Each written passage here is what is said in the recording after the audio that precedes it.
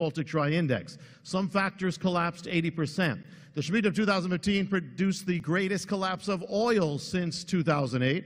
It collapsed commodities, earnings, retail profit. And going into this Shemitah, there was a difference. The center of the world economy was not America, but China. The China, the Shemitah of 2015 wiped out 43% of the Chinese markets in two and a half months. Has to be the greatest crash in world history. It was the worst year to make money in 78 years back to the Great Depression, 1937, year of the Shemitah. As far as day crashes, of all the years of the 20th and 21st century, of the top crashes of the stock market, 20% of them took place in a single year, the Shemitah of 2015, and in a single month, the month of Elul, which is the Shemitah's month of nullification. And the Shemitah, which means fall, ended the American age. You may not have caught it, but America was dethroned from being the strongest economic power after 141 years. Now, we don't have time to go into much except to say that our lives and blessings are not in the hands of Wall Street, but God. And, what, and uh, what's in the mystery of the Shemitah is coming true, but unfortunately, what's in the Harbinger is also coming true. America is following the trajectory of ancient Israel as it not walks, but races away from God. Its fall is accelerating. And now the ball is already rolling down the hill, and we don't need a president now who will push it more. All we need is one who won't stop it, and it will roll even faster. We have one candidate who promises to make America great again. But without repentance or return to God, you cannot be great again. That, that is the essence of Isaiah 9:10, the vow of the harbinger. And I won't say, but Donald Trump is actually, I put him in the harbinger years ago. You have to find it for yourself, but he's there. On the other hand, we have this quote Deep seated religious beliefs must be changed. Who said that? Joseph Stalin, Fidel Castro? No, Hillary Clinton said that. Your belief in the Word of God must be changed. Why? So abortion can increase. The predicament of having no good choice can itself be a sign of judgment. Our only hope is the Lord, our only platform is revival. Let's pray. Father, have your way tonight. I ask in my weakness, be strong in your power and speak Lord, your word. In the name of Yeshua, the Messiah, Jesus. Amen. The message tonight will go into the cosmic, the practical, the personal, the prophetical, the eschatological, or end times, and your calling. How you are fallen from heaven, morning star, son of the dawn. How you are cut down to the ground, you who weaken the nations. For you said in your heart, I will ascend into heaven. I will exalt my throne above the stars of God. I will sit on the mount of the congregation on the farthest sides of the north. I will ascend to the heights of the clouds. I will be like the Most High. At the dawn of existence, an angelic being turns from light to darkness and declares he will ascend and sit on the throne of God. Thus he must destroy the works of God. God said, Let there be, and there was. This fallen being says, Let there be not, let there cease to be. He becomes the destroyer of the works of God. God created the universe. Then he brought forth a new work. He brought into the world a people, a new nation, the children of Israel, the Jewish people. And he said, You are my witness. The Jewish people, the very existence of the Jew, is the witness that God exists. But if the children of Israel are the witness of God on earth, then the one who says, I will sit on the throne of God, will especially seek to destroy them, to wipe the witness of God off the face of the earth. And so there exists a mystery in human history a war against the Jewish people, a war that defies time, that stretches back to the ancient world and to the modern world, that defies geography from Russia to England, Berlin to Tokyo, a war that defies explanation. It was there in the ancient world, in the medieval world, in the modern world, in the communist world, in the capital world, on the left and the right. And the reason it defies natural explanation is because it is not natural. It is supernatural. Behind anti Semitism and this war against Israel and the Jewish people lies a supernatural force, a supernatural being. The Holocaust was not natural, it was satanic. Parents who send their children to blow themselves up to kill Jewish people, that's not natural, that's satanic. Anti Semitism is a fallen angelic phenomenon. That's why no, no natural explanation can explain it. It's beyond time and space. It's irrational because it's demonic. The Jewish people are dealing with nothing less than a fallen angel. In Zechariah 3, Satan is accusing the Jewish people through Joshua the high priest representing them. And the book of Revelation records Michael wars against the dragon, Satan, but in Daniel 12 it says that Michael stands for the Jewish people. So the devil's chief adversary in warfare is the defender of the Jewish people. And the dragon wars against a woman who gave birth to Messiah. That's Israel, the war of the dragon against the Jewish people. The enemy hates the Jewish people with a satanic fury. And so Jewish history is a supernatural phenomenon that bears witness both to the existence of God and that of the fallen angel known as Satan. The link is so direct that even the name Satan is Jewish, Hebrew. Comes from the Hebrew word Satan. From the Hebrew root to Satan is to resist, he's the resistor. It means to accuse, he's the accuser. It means to attack, he's the attacker. In the Hebrew of Zechariah 3, it says that Satan, he satans the Jewish people. He especially satans one people. So that's why the Jewish people are so accused, so resisted, so attacked. For he was there in Pharaoh when he charged the chariots, he charged to the Red Sea in a fury of rage against the Jewish people. And as the Israelites cried out, knowing it would be their destruction, it was the first massive manifestation of the satanic rage against the existence of the Jewish people. And the rabbis marked that day as the first attempt to annihilate the Jewish people. It's the 19th of Nisan, Nisan 19. In a small Austrian village called Braunau am Inn, a baby is born given the name Adolf Hitler. He is born on a Hebrew date of significance. He's born on the 19th of Nisan the same day of the Pharaoh's first attempt, the enemy's attempt against the Jewish people. The Nazi party was heavily into the occult. Their mythology, their symbols, their swastika were pagan occultic symbols. Hitler was a disciple of Friedrich Nietzsche, the man who coined the phrase God is dead and wrote that man must replace God. One of his books was called Antichrist. Hitler was his disciple. He was a man possessed by the fallen angel, and the nation itself would become possessed. Hitler hated God and Christianity for being Jewish. He obsessed about setting up a kingdom that would last a thousand years. Where did he get that from? Why was Hitler, the most evil of men, so obsessed with destroying the children of Israel? Because the most evil of beings who possessed him is also obsessed with destroying the Jewish people. Think about it. The Bible describes the Jewish people as a flock, the flock of the Lord. God is called the shepherd of Israel. Messiah said, I am the good shepherd. But the enemy is alluded to as a wolf. A wolf wars against the sheep. And when a flock gets separated from its shepherd, as in the Jewish people from their Messiah, it becomes defenseless. So when the Jewish people wandered the earth, God said in Ezekiel in prophecy, My flock wandered the earth as sheep without a shepherd. They were attacked by the beasts of the field. And the chief beast of the field to attack sheep is the wolf. Strange mystery. What was the name of Hitler's headquarters? The Wolf's Lair. What did he call his navy? Wolf packs. What exactly does the name Adolf mean? Adolf is German for the wolf. The enemy is real. Hitler died railing against the Jewish people, a Jewish conspiracy to take over the world. So have other anti Semites throughout history. They rail against a Jewish conspiracy to take over the world. Why? because it's the enemy talking through them, because the enemy knows, he fears that a Jewish kingdom will lead the world and will lead to his end. That's why he's afraid. But the enemy also wars against one other specific people, those who follow the Messiah. Not a physical people, but a spiritual people from every nation grafted into the commonwealth of Israel. And so whatever's of Israel he hates. So he's pursued them from the beginning of the age to this day, from the lions of Rome to the persecution we have seen around the world, and the first fruits of persecution we are even seeing here. I remember in the early days of Beth Israel, we were meeting in a church, and the church told us we had to leave, and I only had one service to, left to announce it. The future of the congregation was at stake, it just began. For several reasons, I had to be real careful about how I phrased it. As soon as the announcement left my mouth, a man in the front row falls backwards in a seizure.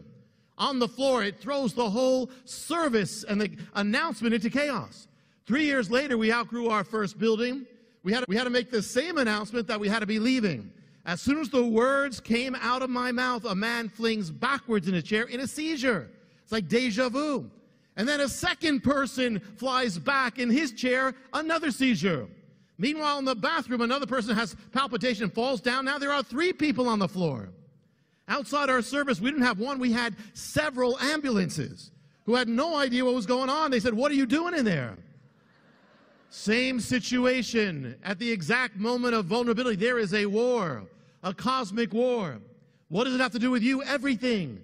The enemy wars against anything in the image of God, but he has two specific wars against the children of Israel, the Jewish people, and the spiritual children of Israel in Messiah. Think about it. We here in this room represent both, even both as one. You are the epitome of both. You represent the coming together. The translation is this movement is the, the center of the wrath of the fallen angel. And if it's dangerous for the Jewish people to be in a war and not know it, how much more dangerous for you, believers and Jewish believers in this movement, to not know the war that you're in, or the magnitude or the gravity of it. You see, all of Jewish history, you look at the fury of it and all that has happened on this earth. Think about all that and the hatred and think about all the persecution of Christians. Now, combine them together, that's what we're dealing with. Whether you're a Jewish believer or you're a believer joined to the Jewish people and Messiah, you are a threat to the enemy. This movement is a sign of the coming of Messiah and his kingdom, which is the destruction of the enemy's kingdom. That's why we're such a threat to him. And that explains why there's been so much against this movement and against you from the beginning to stop you, to discourage you. If a man is in a boxing ring and he doesn't know he's in a ring, he's going to lose. How much more we need to know we're in that ring and we are in a championship bout. Saul, Paul said, We are not unaware of his schemes. He doesn't have one, he's got many, which include accusations, he's the accuser, divisions, conflicts, Temptations, he is the tempter. Money, pride, sexual immorality, unforgiveness, idolatry. Attacks, he's the attacker. Attacks on your home life, your marriage, your family, your walk, your health, your finances, your reputation, slander, gossip, persecution, false reports, anxiety, fear, and more. We often recognize the outright attacks, but we don't often recognize the many other attacks. The enemy will seek to get you sidetracked with distractions from your calling, from your time with God with busyness, with the urgent but not the important. You need to know what God has called you to and you need to hold to it. He attacks with strategies of substitutes to put something in your path in front of your eyes that's a substitute for God's best, what He has for your life and your ministry. And you have to say no, and you got to hold out. It's not just hold out for what is good and not only say no to sin, but hold out for anything that's not His best. In Ecclesiastes, it says, He who breaks a hedge a serpent will bite him. If you break a hedge of the natural, there's a chance there's a snake in that, in that hedge. Well, if you break a spiritual hedge, you'll likely, or hedge, you'll likely be bitten by the enemy. Hedges are your boundaries, safeguards, guidelines. What you will do, what you won't do, what you will allow in your life, what you won't. You must build strong hedges to protect you. Hedges around your eyes, what you'll look at and what you won't hedges around the internet, what you'll see, hedges around your marriage, around your, around your sexuality, around your singleness, around your ministry, around your time, around anything that could tempt you, around your prayer life, hedges and whatever you need them. Before I was a Messianic rabbi, I led a Bible study. I didn't have much experience in ministry. I get a call that a young woman in the Bible study is going to commit suicide tonight and she wants me to come over right away. I rush over. Her father opens the door, welcomes me, calls her down and leaves. She comes down in an evening gown. And I'm thinking, what happened to the suicide? She says, let's sit down and talk. She said, we're sitting down. She's got bowls of snacks and hors d'oeuvres. I'm thinking, this is a suicide with hors d'oeuvres. She puts on a videotape of a movie before God. It's the story of Joseph. It's just at the point where Joseph is being tempted to be seduced by Potiphar's wife. And then I feel something in my head. It's her fingers running through my hair, which I've never had before. I'm watching Potiphar's wife trying to seduce Joseph, and she's trying to seduce me. And I'm thinking, I want the suicide now. I'm praying, Lord, save me out of here. It says, with every temptation, he'll make a way of escape. I see the door. Finally, I literally push her away. I get up from the couch. I say, I have to go. I literally force my way out of the door. Meanwhile, on the television said Joseph is forcing him away, away, says away from Potiphar's wife, but I kept my clothes. It's a good thing. I get outside and I'm furious. I determine from now on the next suicide call, I want to see the rope, I want to see the pills, I want it to be a real suicide. I'll deal with it. But it was my fault because it was a hedge that I should never have broken, never gone there. The enemy was trying to destroy my ministry before it happened. And there's a key in Proverbs that doesn't only say stay away from temptation, the adulteress, it says stay away from the door of the adulteress. The key is don't just stay away from that sin, stay far away from the door of the sin. Build your hedge far from the sin. Fight sin before it becomes a sin. When it's the first trace, put it away. Keep far from the situation that will lead to that sin, and you'll be strong and you'll be victorious. And it's not enough to build your hedge. The key is once you build them, don't break them. Most of the time you won't need them, but that one time it'll save your life and your walk. Another key the enemy is a serpent. Serpents go for the gaps, spaces, holes, openings. I remember once I was driving to our annual congregational picnic, and I, was, I went into a speed trap. The sign said 45 miles per hour, and then suddenly it says 20, and you don't see it. And all of a sudden, I see lights in the rearview mirror, and I'm pulled aside. It's bad enough to get pulled over. I mean, you kind of feel like a zebra that's been caught by the, the lion, you know. But to get pulled over when you're a minister and people are passing by and they recognize you, and it's even worse when you're pulled over on the road to your picnic from the congregation and everybody's passing by and their kids are saying, Isn't that, isn't that the pastor? Isn't that the rabbi? So I'm there with my head down, trying to do sunglasses, trying to not look. The, the policeman goes back to his car to write the ticket. I pick up a Bible, I had nothing to do. I open it up, I just open it up. It says, Be on guard. Be watchful, for your enemy, the devil, prowls around as a roaring lion looking for one to devour. Now, the police weren't the enemy, but the strategy is there. The enemy is looking for an opening in your life. He's always looking for a gap. He's setting traps. Don't give him the opening. Whatever the gap is, whatever's outside of God's will in your life, any compromise, any motive, any indulgence, it's the gap. Close it up and he'll have nothing. It says, resist the devil and he'll flee. But first it says, submit to God. First, make sure things are right with God, and you will resist the devil and he will flee. As with Israel, so with us the stakes are higher for blessing or attack. The Jewish people, for them to be away from their shepherd, they become the nation most vulnerable to the enemy's attack. So get closer and closer to the shepherd and the will of God. The enemy can't touch you there. The best defense to the enemy is a good offense. Don't spend your life trying not to fall. Get on the offense, actively seek to draw closer to God.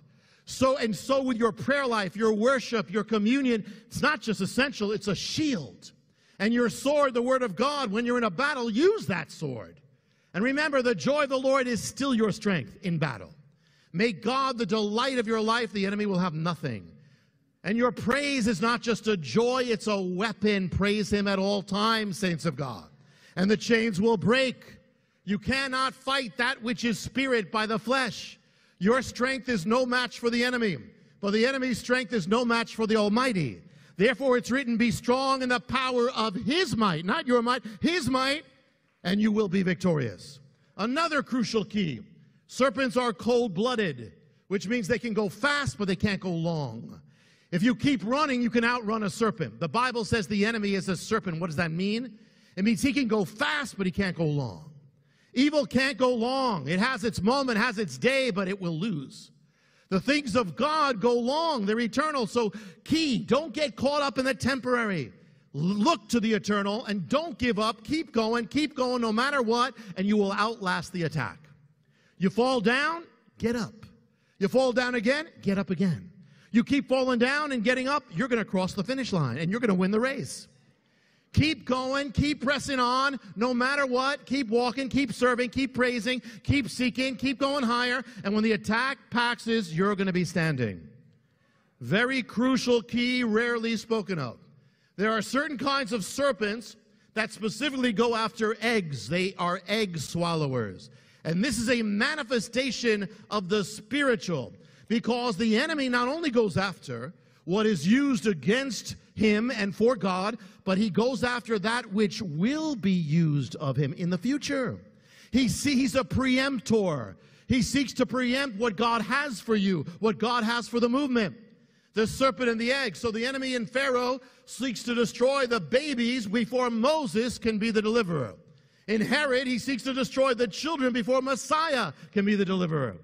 So, when was the greatest outbreak of satanic fury against the Jewish people in the world in history? It happened just before Israel came back into the world. Just before all the prophecies were going to be fulfilled, all hell breaks loose on the earth World War II and the Holocaust. I remember the day that an Indian evangelist came to Beth Israel and invited me to go to India. The believers of India all trace themselves to a Messianic Jew, the Apostle Thomas. So they asked me to go as a Messianic Jew and walk in the footsteps of Thomas. Ultimately, go up the mountain at the end, big finale, where Thomas was killed. And, and we'd go there. I said, yes, we saw amazing things. But the moment I said yes, all hell breaks loose in the congregation. Unstable people, accusations, crazy chaos. As we proceeded towards India, a strange thing happened. The travel agent apparently took off with our money to Spain. Every day there were false reports. We couldn't even tell what was true and not. When I headed to the airport, I had no tickets. On the plane heading to India, I look out my window and I see pieces flying by. It was the engine. There were pieces of the engine, and then the pilot says, We have to land. Yeah, because the engine was falling apart. In India, we're in a car from the Taj Mahal. A truck crashes into us, drags us down the road just on the second day. There was a radical Hindu movement that had just come to power. And, and, and they are, we see something, they had been killing, killing Christians. All over India, we found ourselves followed in every place for over a thousand miles, people specifically trying to get to me. 200 people appear in our videotape throughout India following us. The same people, sometimes mustache, sometimes no mustache. All different, sometimes on the stage, sometimes in a dark alley. I remember on my way to the mountain of Thomas, a giant billboard of Satan sticking his tongue out, like mocking us. I said, I don't need this. The chief police of the region comes over to the hotel room to tell me when you go up the mountain, I will have 300 men, commandos guarding you. And then he says, I have a question for you. And I figure he's going to ask me a security question. He says, Tell me about the end times. I'm like, What? He says, You, I have never met a Jew who believes in Jesus. You know about the end times. Tell me. And then he says, I am not leaving this room until you give me the Jewish blessing. He bows his head, I give him the blessing. I felt like Dorothy in The Wizard of Oz, in the ruby slippers. I had no idea what I stepped into or the war that was against me, but also the honor of it. That's who we are. Everything was trying to stop me go up that mountain. I go up that mountain, and there's a, a Christian parade in front of me with floats representing the story of the Bible, and I get stuck behind the float representing hell. And on the float, there are all these Indians dressed up in red suits and they're playing their part. They're shouting at me, mocking me, and I'm going, oh, I don't need this either. And at one point, they get out and they want a picture with me. So it's me surrounded by all these demons with horns, putting up their, their finger behind me like horns, you know? I'm thinking, this is not right. Then I ascend the mountain. I meet a man on the way, and he says, God told me there's a curse on this land, and a Jewish man has to go up, come to India, God told me, and go up this mountain like Thomas would and not get killed. I said, I'll try.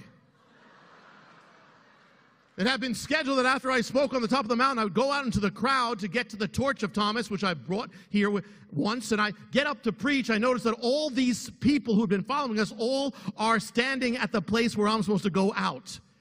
And I preached as if it was my last message. At the last minute, they changed the plans and had me stay back, and they brought the torch out to me. Somehow that footage got on ABC World Tonight, Peter Jennings. I don't know how. But at the very end of the mission, we have a celebration dinner. And the man who had been my chief protector in the, in the natural is standing across the room in front of the table. Just as I'm about to pray, he falls backwards in a seizure, crashes into the table. The man never had a seizure in his life. Doctors were never able to find the explanation. He never had one again. We had never before seen the power of God or the enemy as we did then. We were a lightning rod. And before the journey ended, I told a massive crowd of Indian people about the Messiah and the Hebrew marriage, gave a call, and we saw about 70,000 people commit their lives to Messiah. That's what it was all about. But the enemy knew that from the beginning. And he tried to stop it, and all the attacks were actually a sign of what was going to happen at the end if we could see it. The harbinger began with revelations that came to me when I was at Beth Israel, and then the Messiah conference, I shared it. But before the first revelation came, just before all hell breaks loose. See, we had an amazing phenomenon at our congregation. A lot of our women had received the exact same supernatural prophecy. They clearly heard each of them were to marry me. So the time came when I announced to the congregation that there was a woman in my life. Well, hell hath no fury like a woman scorned, or like many women scorned, and many who sit on the front row. The week after I announce it, they're sitting on the third row. The next week, the middle row. The next week, they're in the parking lot. They're out. The only thing worse than those who left were those who stayed. One woman started putting posters, windshield on every windshield, accusing the congregation. Me, another went around to all the churches. It was the enemy's moment. It was chaos. It was like every day we had three new crises. One of the strategies of the enemy is to overwhelm you, hit you with one thing, then another thing, a barrage, to discourage you, make you panic, make you give up. You know, the word panic comes from the god Pan. It's a pagan word, and God's children should have nothing to do with paganism. So, like panicking. So, in the midst of attack, do not panic. Stay in God's peace. All this took place just before the harbinger was about to come out. And then once it did, once I spoke it, a different attack came. It was as if the enemy knew what was going to happen. We didn't. And all hell broke loose again. The, the town and the landlord decide to destroy our building after 15 years. They started talking about it, and then they decided to do it. We had hundreds of people with no place to go, and we had a deadline to leave. It was our fell on the on all days. It fell on the feast of Sukkot of dwellings. We're going to lose our dwelling. It appeared to be the end of the ministry. We closed it up that day, had no place. And the very next day, after we lost the building, another town, the town of Wayne, New Jersey, Board of Wayne, votes seven to nothing to give us a building three times the size of the first. And the ground where I first shared the Harbinger was now in ruins. They destroyed it. Ruins. And over the top and from the ruins rose Walmart. Now, Walmart has a book department. They don't have a lot of books, but they carry one called the Harbinger. So, on the very same ground where I first preached the Harbinger and the enemy went crazy, the Harbinger is going forth to America as a book. The enemy seeks to preempt the purposes of God before they happen. So he specifically will attack powerfully what is going to be used. And the fact that the enemy has so attacked the Messianic movement is not a bad sign. It's the opposite. It's a sign to us how great is the calling upon us to which we are to rise and how glorious the mantle is that we're to take up in the last days. We are not to let the attacks discourage us. Just the opposite. You are to be encouraged at how great this calling is now, as the last days unfold, as we near the time of the kingdom, what would we expect of the enemy? As the days of Messiah's kingdom approach, his attacks will increase on the Israel, the Jewish people, and on all who truly follow Messiah. That's why the world is turning more anti Christian, more anti Israel. Since we last met, since the Supreme Court struck down the order of God's creation in marriage, the progression of apostasy and persecution has accelerated. Right now in California, the Senate has introduced a bill which threatens to lead or force into apostasy or shut down every Christian school and university in California. While we were here during the conference, the Russian parliament passed a law making evangelism illegal, even in your own house or in a casual conversation. In Iowa, a law was passed that threatens to shut down any worship service and any pastor or rabbi who makes a transgender person uncomfortable. On television cartoons now, God is openly mocked and blasphemed.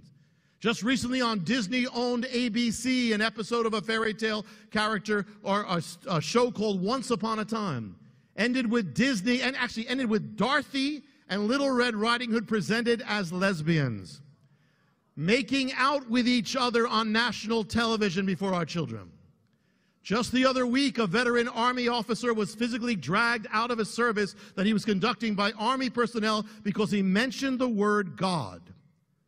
As the end time progresses, the enemy will war all the more furiously, and we are both, we are from both camps. So, congratulations, we are in the big leagues. We are in the big leagues. We are harbingers of the kingdom, the first fruits of Messiah's coming. The age began with Messiah, then Messianic Jewish believers, then Jew and Gentile in Messiah. So now again we've got Jew and Gentile in Messiah. Now again we have Messianic Jewish believers. That's a sign preceding the return. And Messianic Jewish believers, we have returned on the earth, and the enemy is not happy about it. Ever since I was called to speak in Washington, major left wing organizations have put me in their crosshairs. Everything I say gets twisted no matter what. They call me the end time rabbi. At least they're calling me rabbi. It's kind of respectful there. But I'm encouraged because the enemy is especially against us. What does that mean? It means God is especially for us. And if this is the hour for us to be warred against, it's also our hour to shine and be lifted up. Last month, Glenn Beck asked me to come on his show, and now with Glenn Beck, you never know what he's going to do or ask. And this time they didn't tell me the subject, which they always do. I, and they, I'm praying, and, and he says, they say he wants you there for the full hour. I'm thinking, no subject, no, I don't know what to do here. I'm in the hotel praying, Lord, have your hand on me, and have your hand on Glenn Beck. Just before the show begins, he says, I'm going to take this in a different direction. Thinking like, show opens up, he says, Can I ask you, how did you come to be a believer? I said, Yeah, you can ask me that. So the Glenn Beck show opens with me giving a testimony of salvation as a Jew coming to Messiah.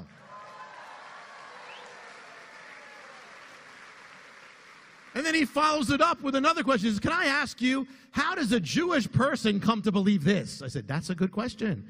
I spend the next part of the Glenn Beck show talking about how it's Jewish to believe in Jesus. Yeshua, his real name is Yeshua. He fulfilled the prophecies, the most Jewish thing in the world to be a Messianic believer. I end up giving the Aaronic blessing on the Glenn Beck show. I don't know what happened, but the, the Spirit took over. It's a new day. Recently, I was asked to speak again at the United Nations. I don't know why and how, but this time it was a global summit on sustainable development. I'm thinking I preached on a lot of things, but sustainable development is not in the top 10. So I said, forget the, so I said, Lord, what am I going to do? I said, well, forget the UN format, try God's format, and speak instead against about sustainable prophecy. So there were people from all backgrounds, Muslims, people with head coverings, all sorts of things. And so, being in the United Nations, I said, What do they need? I said, Let me preach on the Abrahamic covenant, how it's good to bless the Jewish people and Israel, and a bad idea to curse them. Then I spoke of the persecution of believers. Then I got into end time. So let me go all the way. Let me talk about end time prophecy and following Messiah. I was pretty sure at that point I saw some turbans spinning around and some smoke going up from their heads. I gave the speech I, and then I took off right there. I don't know if they passed a resolution against me or not, but the very fact that the door opened is a sign these are new days. Great is the opposition, but great is our moment. Great is the chance to become great in the Lord. Many of you know the mystery ground from the Harbinger on its, that on its first day, as a constituted nation, America was dedicated to God. And on 9 11, the destruction returned to the exact same ground. America was consecrated to God on ground zero. But let me tell you another mystery that's not in the book, because I didn't know it. What was ground zero before America existed? Turns out it was a farm. And the keeper of ground zero was a man named Joris Ryerson. He was a believer, a Christian, and a minister. Ground zero was called the Ryerson Dye Farm. And he felt that New York City was becoming too sinful even back then. So he planned for a new land, a new ground to become the replacement of Ground Zero, the new Ryerson Dye Farm. So he, he found a new land, purchased it, lived there with his family, replaced Ground Zero, and dedicated the land to God. He even had services there, prayer, worship. He was even friends with a man who ushered in the Great Awakening, had him come to that land, ministered there, prayed. The, man, the keeper of Ground Zero and the man who ushered in the Great Awakening prayed together, had services on that land. For 300 years, these were the two lands of Joris Ryerson. One would become the nation's dedication ground and ground zero. What about the other mystery ground, that second land, that redemption of ground zero? Where was it? It was across the Hudson River. It was in New Jersey. It was off an Indian trail. It was in the town of Wayne, New Jersey. The other mystery ground is the ground on now which rests our building. Beth Israel sits on the mystery ground. We own it the ground of Joris Ryerson. We had no idea. The harbingers appeared on the first land of Joris Ryerson. The harbinger message went forth from the second land of Joris Ryerson. And that's where he that's where they prayed in the Great Awakening and all that. We left our building on the 300th anniversary when he left ground zero. And we came to this land on the 300th when he came to that land. And it was here's the thing. It was only because of the enemy's warfare against us that forced us out of the old place and put us on that ground. It was the enemy's attack that brought us into our destiny. And that's the thing, people. We are not to fear the attack of the enemy or any evil. First, because God promises that if we stand in Him, not only will we not be defeated, we will triumph over it. Number two, because not only will the enemy's attack not defeat you, it will actually be used to bring about the purposes of God in your life. So, why should you fear that which is actually going to bless you? The brothers of Joseph meant it for evil, but God meant it for good. The most joyous Hebrew holiday, Purim, was brought to you by Haman. And through the death of Messiah comes the blessing of salvation. I will turn their mourning into joy. There was a little boy born after World War I in Germany and given the Hebrew name Aaron. He grew up, he watched his nation taken over by Hitler and the Nazis, a nation under demonic possession.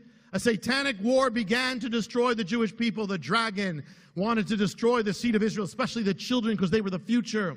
And the noose began to tighten around him. And then came Kristallnacht, and his parents saw what was coming and they tried desperately to gain access out of Germany, but they couldn't because the nations were closed. Finally, they were able to get a way to get their child out. They one day they brought him to a train station. There he said goodbye to his mother. His father said, "You will never, you may never see her again," and he never did. It was the final goodbye. He departed having no idea what would happen to him. He ended up on a ship with Nazis and Jewish refugees together, moving through the submarine infested waters of the Atlantic. The ship before him was sunk, but he survived, though much of his family didn't. Found a wife, started a family. That German boy was my father. The enemy tried to destroy the seed of Israel, but God gave the promise that no matter what came against them, they would not perish from the earth because God is real. They would survive, otherwise, I would not exist. If it wasn't for the enemy's war against the, our people and the God's promise to preserve us, I wouldn't exist. And you wouldn't exist. We would not exist. We are a miracle by God, and we are the end game. We are ultimately what it's about in Messiah. I only came to Messiah because I was hit by a locomotive train. And being hit by that train, it was the second time I was almost killed in a short time, hit by a locomotive train. I said, you know, it would be a good idea to get saved now. Jews need signs. I needed a train. But I had no idea how. But I remember from Hebrew school that God met Moses and Elijah on mountain. So I found a mountain. It was nighttime. I reached the pinnacle, knelt down on a flat rock, gave my life to the Lord. Years later, I decided, let me return to the mountain of my salvation. So it was nighttime. I come up with a shofar, a Bible, a talit, a flashlight, found the rock. I open up the Bible in the dark with a flashlight, it opens up to Ezekiel. It says, The enemy says to you, Israel, I've got your mountains. It goes on to say, You will take the mountain back. Strange, I'm reading it on a mountain. Had a great time in God's presence, had the talit, sounded the shofar. Next day, I'm at Beth Israel, the service. A woman waits online. She has a gift for me, a framed drawing she had just purchased from a store. It was a drawing of a man standing on top of a mountain with a talit blowing a shofar. I said, hmm, that's something because last night that was me. I was on a mountain with a talit and a shofar. The woman says, Which mountain? I said, You don't know the mountain. It's where I came to the Lord. She says, Which mountain? I describe it to her. She says, I know that mountain. I said, Really? She says, I live at the bottom of that mountain. I said, Really? She said, Do you have any idea what that mountain is? I said, No. She said, That mountain is dedicated to Satan. I said, Really? Well, I got saved on top of it. She said, On top? That's where they gather to worship. I said, Really? Well, I came to the Lord on top on this flat stone. She said, On the stone, that's the altar. That kind of explains why my walk has not been usual. And then it hit me. I remember that on that mountaintop, I had seen words written on the rock that always puzzled me. It said, No Jew shall enter these sacred grounds. Now, you know, most believers come to the Lord. Most of you have a nice carpeted sanctuary or living room. I come to the Lord on a satanic mountain. You got a pamphlet that says God has a wonderful plan for your life. I get no Jew shall enter these sacred grounds. At the time I thought, who on earth would write that? Nazis, the Ku Klux Klan, who would write that? Finally, the mystery made sense. It was Satan worshippers who wrote that. No Jew, but it wasn't Satan worship, it was Satan who wrote it.